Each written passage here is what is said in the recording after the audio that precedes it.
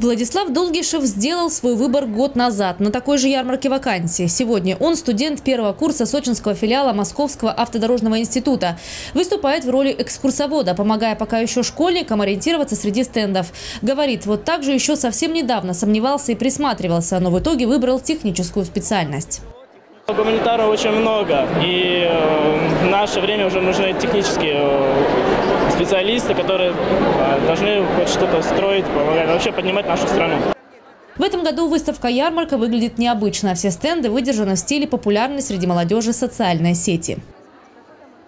Вы узнаете э, дизайн Инстаграм.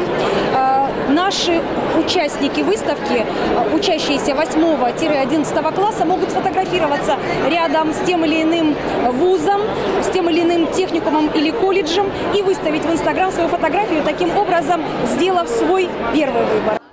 А выбирать есть из чего. И очень важно сделать свой выбор раз и навсегда. Ведь нередко выпускники школ выбирают будущую профессию не по зову сердца, а потому что родители настояли, со временем начиная жалеть о впустую потраченном времени.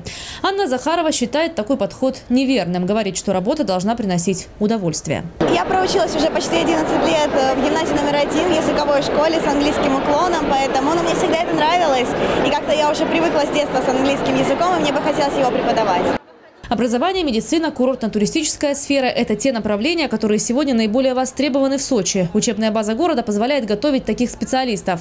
Так что вполне возможно, что из 7 тысяч школьников, посетивших ярмарку, многие останутся учиться в Сочи. Тем более, что с трудоустройством у них проблем не будет. Ольга Десятого, телекомпания «ФКТ».